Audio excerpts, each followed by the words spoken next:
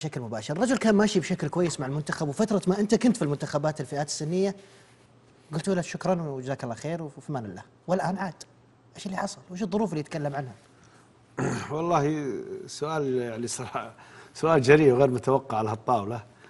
لكن آه، أبى أتكلم أنا بجيب تقدير لك وتقدير وجودي كناقد في أكشية دوري ولكن لن أتكلم في أسرار آه، سابقة أثناء وجودي في الاتحاد السعودي وفي يعني بعض أدق التفاصيل ما راح أتكلم فيها نهائيا. لا قول اللي, اللي تقدر هذا تقوله واجب علي إيه، نبي ومش- مش معناته الصورة. إني, إني تركت الموقع فأنا أقوم أتكلم في بعض الأمور سواء كانت من قبل الكابتن سعد أو من قبل آه، المسؤولين.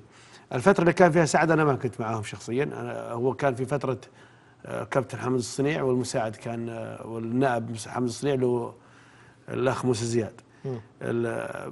طبعا هو كان مشرف على منتخب الشباب مش على المنتخب الأولمبي. ومن حسن الحظ الآن أنه تقريبا 90% من اللاعبين هم نفس اللعيبه. اللي كانوا معاه في كأس العالم.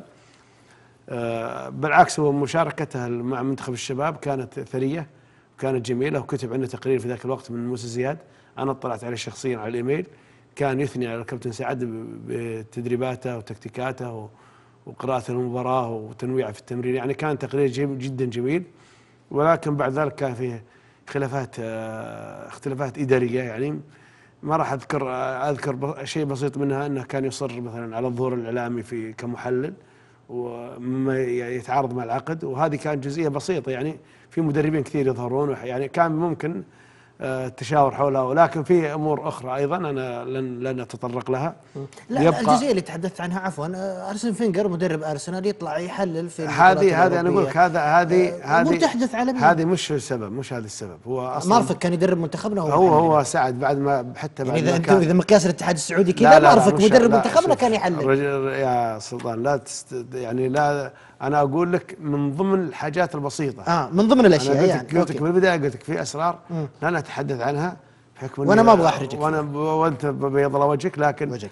أنا أقول لك يعني من ضمن الحاجات اللي تعرف أحيانا يكون في خلاف مبدئي ثم يتطور ولكن هذه كانت بداية آه، اختلافات لو أنت كنت. صاحب القرار يبقى أم يرحل؟ خلينا نعرف لأي درجة وصلت هذه ال- الاختلافات طبعا بعد ما مش بعد ما آه، الأخ كابتن حمد الصنيع الأخ حمد الصنيع آه، تسلم لجنة الاحتراف تسلمت أنا والاخ الغالي والعزيز طلال الشيخ آه، موضوع المنتخبات السنية. ولا لو كنت أنا صاحب قرار كان يبقى طبعا لأنه قدم نتائج. أنا أعمل بالنتيجة. شوف كل مدرب مهما كان أجنبي سعودي أي مدرب مستحيل يمشي معاك الموسم كامل بدون بدون مشاكل. إذا ما في إذا ما صارت في مشاكل المدرب له طلبات وله رغبات وله مزاج وله كيانه الشخصي. وله كيانه انتمائه لل- للنادي أحيانا يكون انتماء لنفسه أحيانا يكون. لابد ما تظهر لك عقبات مستحيل. يعني إذا الاختلافات والخلاف اللي أفهمته منك ما تصل لدرجة إذا إنه كنت يرحل عن إذا المنتخب. كنت نعم. إذا كنت رجل ناجح تتجاوز الخلافات البسيطة إذا كان يقدم مست- أما إذا كان والله يعني هي كبرت في رأس واحد. إذا كان مستوى ومشاه هذا اللي إذا كان مستواه الفني يعني نص يعني لك عليه وفي خلافات اداريه أكيد إنه يمشي. لكن أنا أقول إذا كان يعني الكابتن سعد ثروة وطنيه أتمنى له التوفيق وشدوا حيلهم إن شاء الله هو والمجموعة اللي معاه آه، كان في في نقطة مهمة بسيطة بحكم نتكلم عن كابتن سعد. هو مدرب وطني قدير.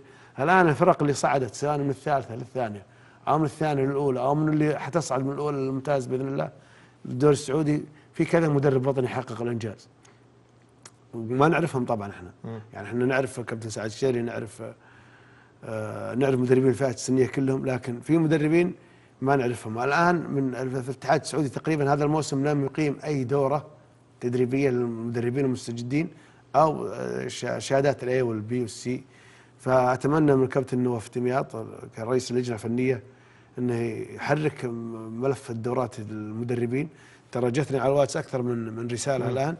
من المدربين الوطنيين اعرفهم شخصيا وكنا نرتبط معهم في علاقات والمحاضرات اللي تصير في الآونة ما الاخيره نبغى محاضرات أبغى شهادة. أبغى شهادة تدريبية للمدربين. الآن تتخيل المدربين عندنا في الشمال يروحوا يأخذوا دوراتهم في الأردن. يعني اخذهم الكابتن خالد خيران والكابتن أحمد الدوسري. أخذوا شهادة ال A وال C وال B من من طيب. من الأردن. في المنطقة المنطقة الشرقية ياخذونها في البحرين. في بعضهم يسافر الإمارات عشان ياخذها. إحنا أولى في إن نقيم طبعا ملف عطل الآن.